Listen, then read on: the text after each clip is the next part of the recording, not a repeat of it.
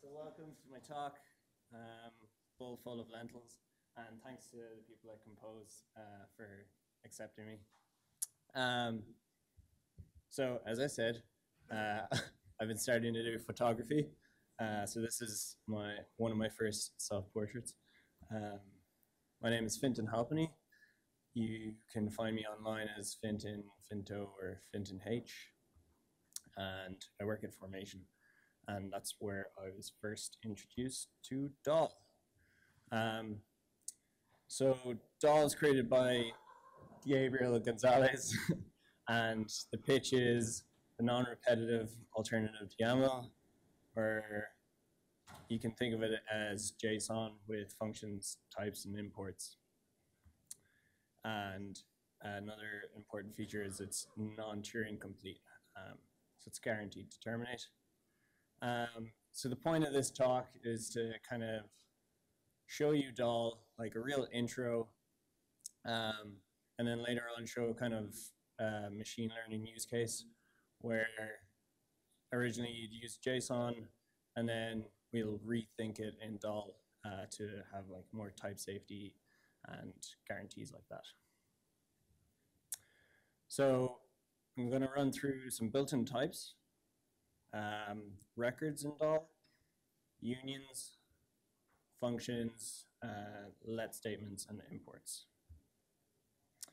So here we have, um, oh, I guess a prerequisite is you install Dhall. Uh, there's like uh, different interpreters in, in different languages.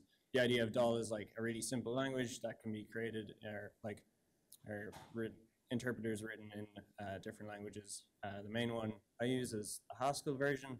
So I stack, stack install dhall and get the command line tool.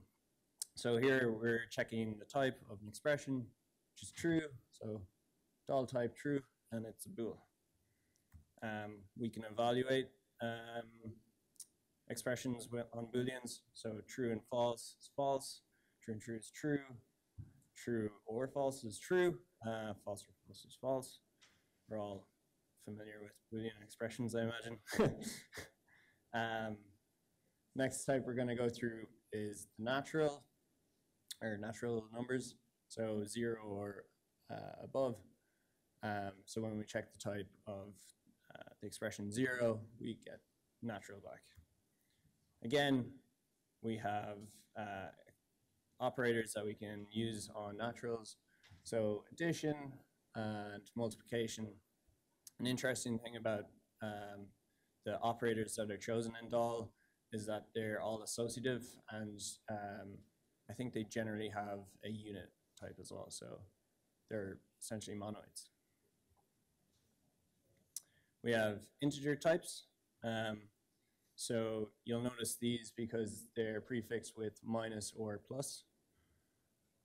And we can't do arithmetic on them. Um, so the reason, again, is because Dhall is a simple language and allowing just arithmetic on the natural numbers uh, rules out a lot of uh, nasty edge cases.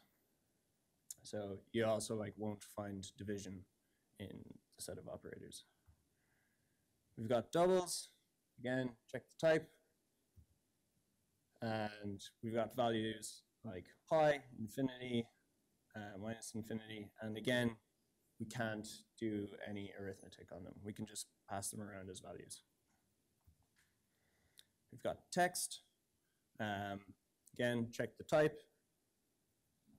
And we can perform operations like just evaluating uh, plain text expression, concatenating them, or we also have uh, multi-line um, text representation here on the bottom. We've got lists, so checking the type of this expression, we have list, and then what's in the list are natural numbers, so we get a list of natural. We have interesting operators like concatenating two lists, um, folding over a list, uh, at this stage, I'll mention how types work in Dhall. So for fold, as you can see, the first argument to fold is bool.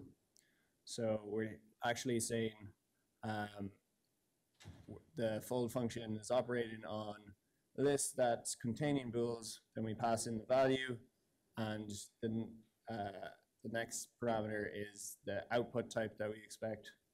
Then our function that's going into fold, and um, our base element in the fold uh, expression.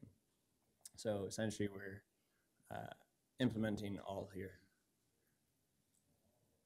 Um, and we also got length, and there's probably a myriad of other functions that are either built in or in the Dhall prelude. We've also got optionals. Um, so recently, optionally used to be an empty list uh, for none, but uh, there's been a change. Um, so now it's none, but we also have to tell it what optional we're expecting, or like what value inside the optional we're expecting. So this is why we have none and with natural. And then under that we have some and one. Um, and again, type checks for optional and natural. Again, we can fold. So we're saying we're expecting text within the optional and we're expecting text out. Um, and we're just using an identity function. Uh, so we get back ABC, but in the case if we have uh, none, we'll get uh-oh, our default value. Um, the unit type is represented using the uh, curly braces. So we're checking the type of the expression here. Um, so the unit is uh, curly braces with equals in it. The reason we use curly braces is because records are also represented with curly braces. Uh, so the unit type can be thought of as like an empty record. Um, so when we check the type of records, it's actually of type type. Um, and then we can also uh, check uh, or evaluate an expression that is a record. And this is, again, a type, but um, we're saying it's a, a record of, with age, email, and name. And then we can create values. So here's an example of creating a me. And uh, one thing to note is that the keys uh, came out a bit different than what we expected. And this is due to Dhall um, sorting keys for binary serialization. Um, so we can check the type of uh, a val like a record value. And then if we try and annotate a record, um, that's missing a key. So in this case, I've omitted the age. Um, Dhall gives you a helpful uh, type error saying um, we were expecting age. Uh, sometimes the the type errors aren't as nice as that. uh, we can also project values out of records. So dot age will give us 26, and then we can project multiple uh, keys out. Um, so age and name, and we get back the original record. We've also got union types. In this case, it's an enumeration of uh, weekdays. And projection is just done by um, uh, keying into one of the options. If you want to collapse uh, union, there's a special key function merge, um, which you pass a record that um, handles each case, and uh, and then you pass in the the value, uh, the union value. So in this case, we've implemented the does Garfield hate Mondays function, um, and passed in Monday, and it's true. Um, we can also use unions as uh, sum type. Um, so when we check the type of this sum type, we're saying, oh, sorry, when we're checking the type of the projection of is not, it's saying for all naturals, um, I can create a type of uh, this union. We've also got functions. we can type check. We can also uh, evaluate them um, just as bare expressions and then also pass in the value to the lambda and it normalizes. Um, so as another example, this time a bit more complicated because we need to take in the types as we saw earlier. So taking in a type A, uh, type B, and then values of type A and type B, and ignoring the second one. So essentially the const function. We've got let expressions. So this is a way of uh, binding um, expressions to names. Um, so in the top example, we have the identity function, hit me, and then we've we can also import uh, URLs and uh, assign them to names. So in this case, I shortened the URL, but this function exists in the Dhall prelude enumerate, which enumerates all the natural numbers into a list um, up until um, n minus one. Um, and we can also import locally. Do you have a question? Yeah, it's not a valid URL. Uh, I did it to fit it on the slide. Uh, so you can import things from URLs. So like you can import Dhall expressions from URLs. So uh, like for example, on the Dhall GitHub, there's a directory with preludes. So if you go to the raw version of uh, enumerate, copy that URL, and then import it into your Dhall file, it will grab that expression over the net, and then you can use it in your file. No, no, no. That was that was purely me just trying to fit things on the slide. Otherwise, I would have went off to the right. I'm not.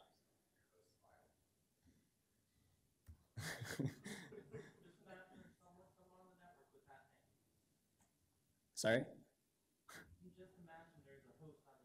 Yeah, yeah.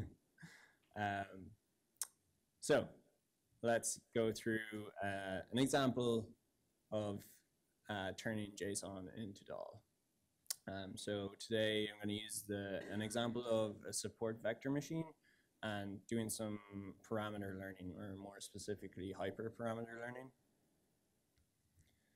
Um, in the repo that where this talk lives, there is a Python script that uh, will accept some JSON and do some um, machine learning model. It's really simple and just cribbed from scikit-learn. Um, is every is there people in the audience that aren't familiar with hyperparameter learning? Cool. All right. Um, so hyperparameters are the parts of machine learning models that um, the model can't infer itself. You have to like have um, human input into like choosing these. So a way of choosing these is like iterating over the values, uh, different types of values, and seeing um, how well the model performs, and then you can choose like the best uh, values. Does that make sense? Cool. Um, so uh, SVM is a support vector machine, and basically it tries to draw some lines in between um, your data sets to try and classify them in a certain way. Um, so I'm using the classic iris um, data set in scikit-learn, um, where you try and classify different types of irises de uh, depending on their uh, sepal width and length.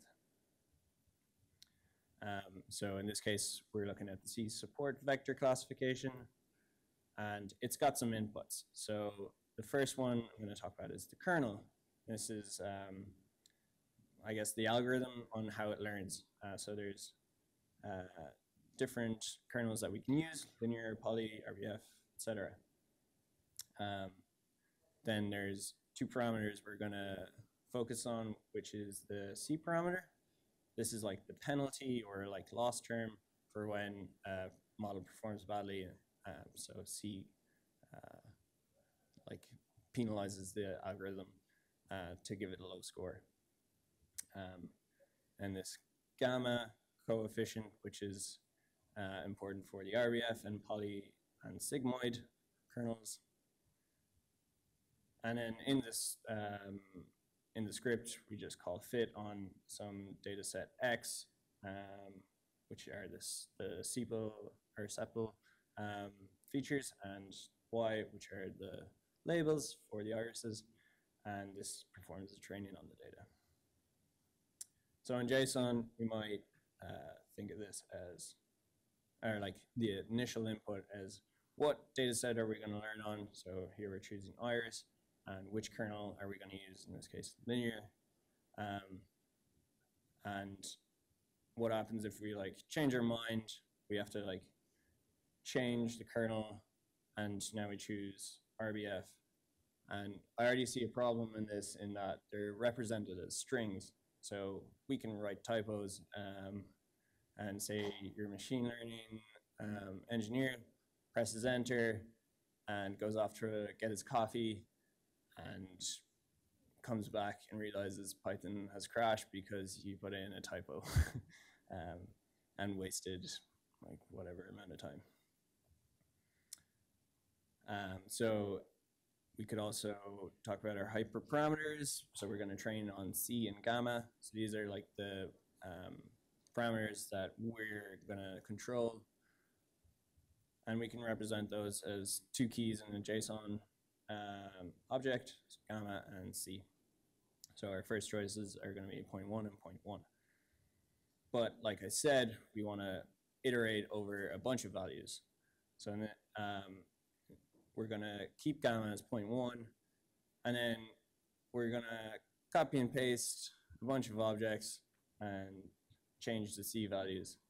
Um, so uh, as you can imagine, this can be very error prone.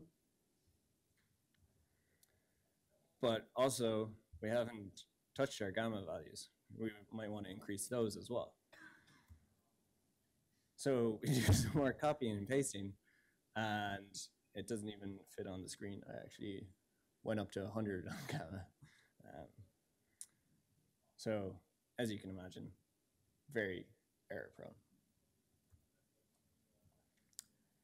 So instead, let's talk about uh, implementing this in Dhall. Um, so where you see kernel.dhall, I mean, uh, there's going to be a file on your system called kernel.dhall and has this expression of the unions, or of a union, RBF, linear, and poly. And this represents our kernels. And now we have a closed set rather than some open string that can um, have typos. We can also represent our different data sets, so iris or wine. And then our trainer becomes the import of those two files and uh, record uh, the date uh, with the data set and the kernel. We can represent our hyperparameters again in a file and with the keys gamma and C. And we know they're double now as well. We're getting more type information. So we'll want to have like a helper to create that initial 0.1 gamma value iterating over uh, C values. Does that sound familiar to any functional programmers? What function might that be? Yes? You often do this in the Unix shell.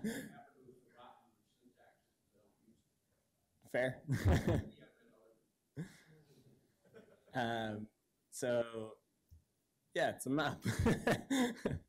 um, so we can map over a series of C values, keeping our gamma value the same, and creating a record uh, by passing in a C value. And then we'll end up with a list of records. Um, what about our second example where we were also increasing gamma values? Anybody? Huh? Close. Yes, like applicative. um, yeah, it's the cross section. So we can use lift A2, um, pass in our gammas and our C's, and then it's gonna, or not cross section, cross product. um, and it's gonna end up with the cross product of um, the two sets of values. And I could actually fit it on the slide in this case. So that's it. I've got some extra links if you're interested in Dhall um, to learn more about it. Uh, there's projects like Dhall Kubernetes, which allows you to um, uh, write your Ku- Kubernetes uh, configurations in a type-safe way. Um, there's stuff like Dhall text, so uh, like writing uh, text handling. Um, at Formation, we've written Dhall bot, which is a functional um, library, so it has stuff like functors, applicatives, monads, all that good stuff. Uh, a colleague of mine, Greg Pfeil, has got Dada, which is recursion schemes for Dhall. um, yeah. And I also used other links like scikit-learn and uh, a Medium article where I cribbed the machine learning stuff. And as a final message, if you want to see more blurry pics or the one I just took, you can follow me on Instagram at PintoHaps. Thank you.